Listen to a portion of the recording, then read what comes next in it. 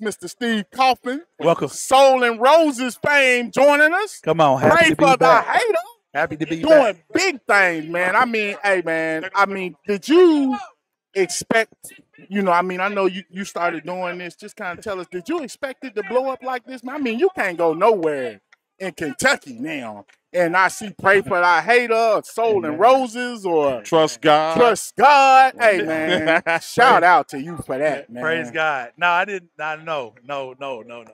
I was nervous in the beginning, man. You know, just doing something different, man. Jumping out, a leap of faith, and just pushing God.